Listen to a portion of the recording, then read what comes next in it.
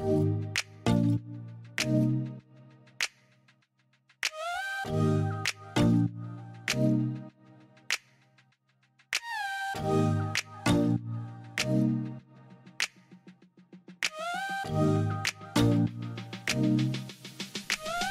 I'm Andy Singleton. I'm the director of the Centre for Alzheimer's and Related Dementias, or, or CARD as we call it. And we have a very simple mission, and that is to create um, treatments and therapeutics uh, to prevent and treat Alzheimer's disease and related dementias. And we have a, a, an incredible focus on that mission. Everything we do is centered around meeting, um, meeting that mission. In structure, CARD is a, an incredibly collaborative endeavor. The idea is that every project and every program we have ongoing within the center is interrelated so that the whole is much greater than the sum of its individual parts. In order to get those individual parts to function and work together um, efficiently and to really maximize the work that we do here, we have several groups, expert groups that we call them, that provide expertise and, and muscle um, to individual projects, and you'll meet many of those expert groups. We also have lots of other initiatives within CARD uh, centered around bringing large scale data sets into the uh, center, making those easier to work with, around promoting diversity, equity, and inclusion within um, our, our work to really advance science and ensure that we're moving forward um, in a, an efficient and uh, global way. Uh, these diseases are global diseases, so we need to understand the diseases in global populations. It's an incredibly exciting time for us here at the center. Um, we've only been around for two years, but we have now around 100 or so people working here on various aspects, primarily in the basic and early translational space. Over the next few years, we'll be growing our clinical and late translational program. So we have some exciting developments there with space assigned and recruits for a director for a clinical translation.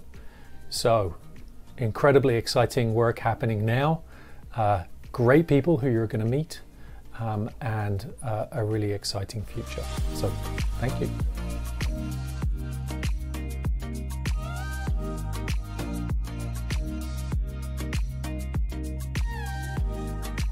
Hi, I'm Sara Bandres. I'm a staff scientist and the head of training and outreach at CARD. I lead the genetics group, and uh, really genetics is the starting point or the foundation to understand the etiology of Alzheimer's disease and related dementias. Our role is to dissect the genetic architecture of these conditions, spanning the etiological risk spectrum, so from rare uh, deleterious variants, usually involved in monogenic forms of disease, to more uh, common variation, increasing disease susceptibility, usually for late onset sporadic forms. Uh, genetics is also key because it can offer insights into prediction, progression, and prognosis, and it can also guide us uh, for the development of tailored and personalized uh, therapeutics.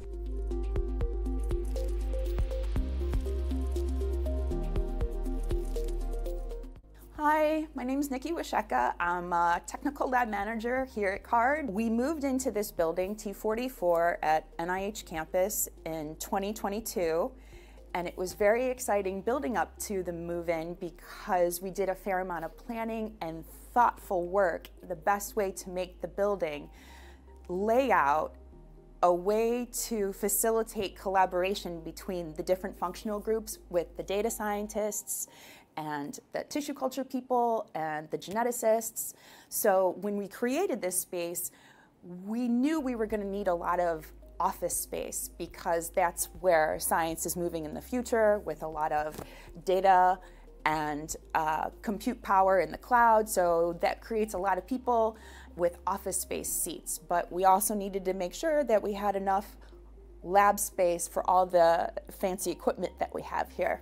So the building is designed in a way so the data science folks can visualize and see the people in the lab. So we have this great atrium window area that hopefully gets folks to collaborate and come together and make relationships. Hi, my name is Erika Lara. I'm a scientist at CARD and I'm leading the automated cell culture expert group.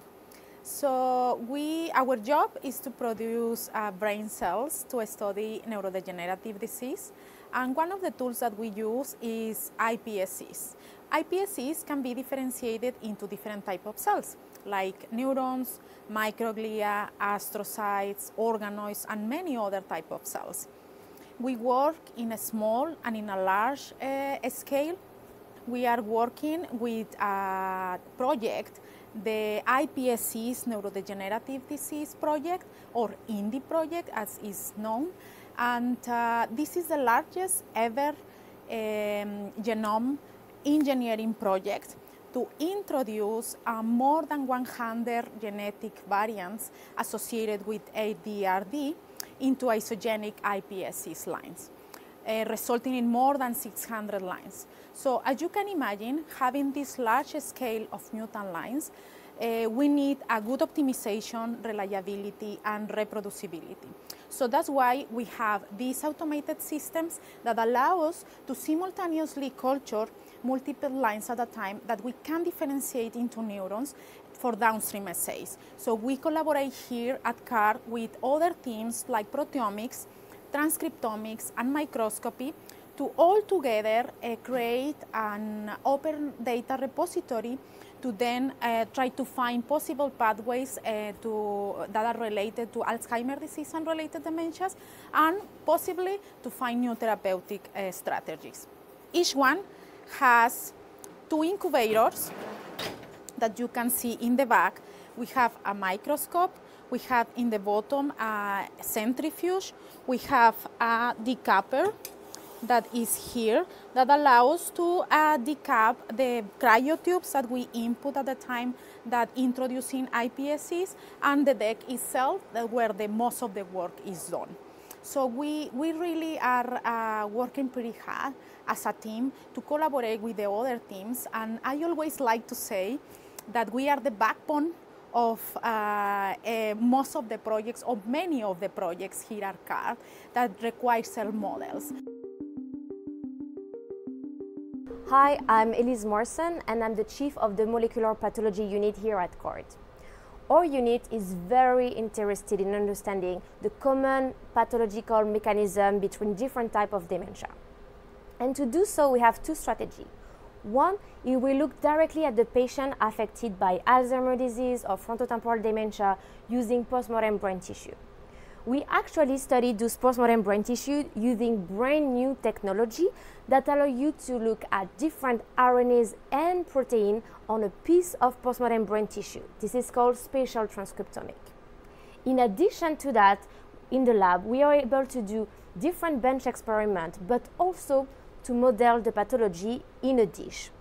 So to do so, we grow iPS-derived organoids that help us to understand how the disease progression of the pathology as well as the cross communication between different cell types such as neuron that might be vulnerable to the pathology but also non-neuronal cells that can be toxic to the neuron such as microglia, astrocyte and blood vessels.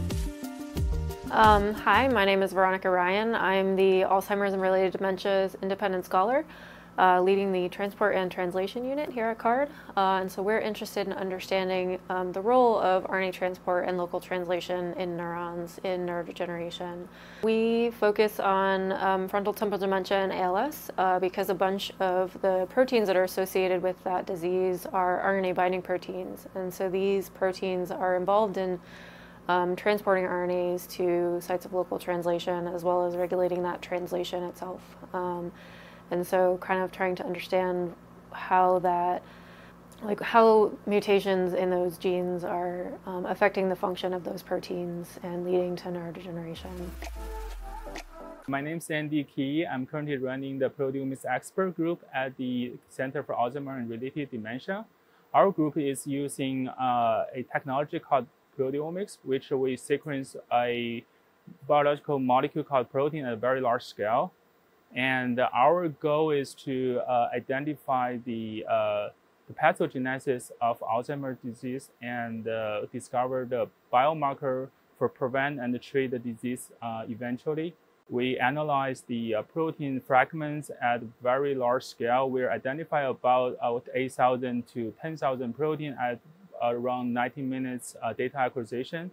And for, for this, we have built a fully automated uh, pipeline. The, our group actually start uh, many collaboration intramural and extramural uh, that allow us to actually work with other group as a team uh, to uh, to fully understanding the uh, the molecular basis of Alzheimer's disease, and ultimately to identify the biomarker and the biomarker panel uh, to identify the population who are at the risk for this type of disease. And hopefully we can find some uh, biomarker for a newer therapeutic strategy to treat and prevent Alzheimer's disease. Hi, I'm Kim Billingsley. I'm leading the long read sequencing group at the Centre for Alzheimer's Disease and Related Dementias. And so my work focuses on nanopore long read sequencing, which is a new technology which can capture a lot more of the genetic variation in the genome. And so we're applying this new technology to hundreds of human brain samples so that we can start to find new mutations that are associated with Alzheimer's disease and related dementias. The ultimate goal of our projects is that we'll identify new genetic mutations um, in specific genes, and then this information will help other groups that can then take this information and look at RNA and protein to identify the functional impact of these new mutations.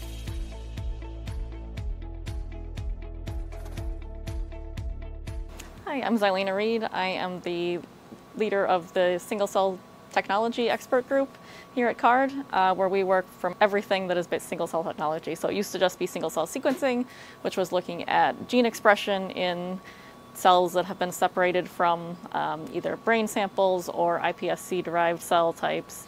Um, but now it's evolved into these spatial technologies where we can look and see exactly where transcripts are within the cells. Basically looking at what genes are expressed where and in what cell types and how they are being regulated within the cell.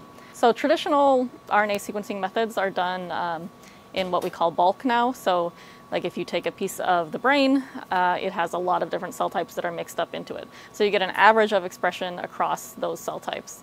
Uh, so single cell sequencing allows you to then separate those cell types into just one cell at a time. And then by the expression pattern, we can group them together then within microglia or neurons or astrocytes. So we can see what the expression patterns are actually like within those cell types. Um, and that allows you to really understand what is what is happening in within each cell type rather than the average across the whole tissue or the whole plate of cells that you have.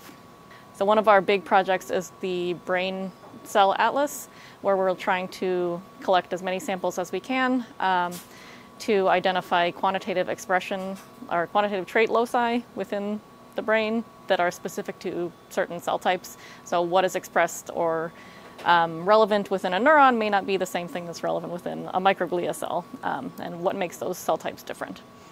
Um, so we also help out a lot of the other expert groups by doing some smaller experiments with them to identify expression patterns within the cell types that they make and see what is involved in Alzheimer's and related dementias. So my name is Mike Nalls. I'm lucky enough to lead the Advanced Analytics Expert Group. It's uh, it's really been a highly collaborative endeavor for CARD where we work to connect and facilitate the research of all of the teams within CARD, but also um, really trying to accelerate and fill gaps with external collaborators. A lot of our goals are um, building cloud forward and high performance computing software so that we can run all the analyses that are needed by the teams here, but also to facilitate external collaboration because part of our job is to fill gaps in the portfolios, not only of CARD, but in CARD's collaborators.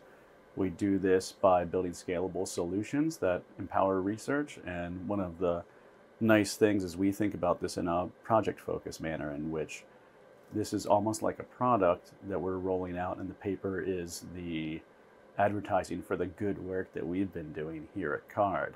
So it's focusing on filling these gaps and empowering others. As part of our mission at CARD, uh, we aim to train the next generation of scientists in the Alzheimer's disease and related dementia space and is not only key to make our research globally relevant, but to ensure that we are building a unique, diverse and inclusive community.